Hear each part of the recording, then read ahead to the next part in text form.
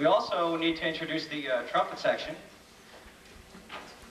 First trumpet, Brian Stwally. Also, first and second trumpet parts, Phil Long. It's kind of splitting the difference between first and seconds. And next, second trumpet, Sarah Hager. Third trumpet, Daniel Ray. Fourth trumpet, Dave Kessinger, who's got a solo coming up next. And also Betsy Ray, sister of Daniel. That is our six-person trumpet section.